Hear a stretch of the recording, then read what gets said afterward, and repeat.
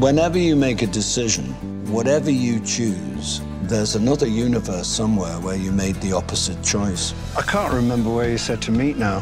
Coast Guard Station. Is it near the sea? There are mysteries unsolved. You'd like this. It's like Scrabble, only with pig princesses. What's a pig princess? We'll have to make a night of it. No, we'll go on. We'll come back in the morning. It's already getting dark. I didn't bring a toothbrush. Which do you want? Cyberman or Dalek? His brother went missing, and ever since then, The prodigal son. All he ever talked about was you. I'm the one who didn't run away.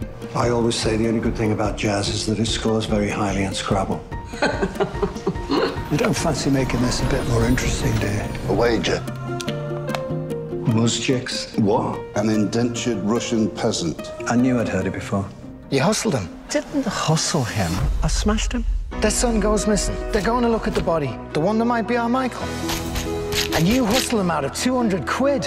When you put it like that, Obviously, you're welcome to stay. Grandad, that's my bed. Shh, shh. There's a girl who walks past two bus stops to be at the same bus stop as her, but who doesn't speak. When this is done, the thing you have to remember about these buttons is sometimes, always, never. You look spruce. Doesn't he look spruce? where have you seen those words before? In a game of Scrabble. Our Michael used to play them. He's not coming back, you know. What have I got to be scared of? The only thing I'm scared of is dying before I sort this out. He talked about going to meet some guy off the internet. Is he mentally enfeebled? I'm on the ever was. Have you had sex in my bed? Well, we won't go to have sex in Jack's bed. I'm not Tarzan. Why are you worried? He's a very experienced sailor, isn't he? Is he?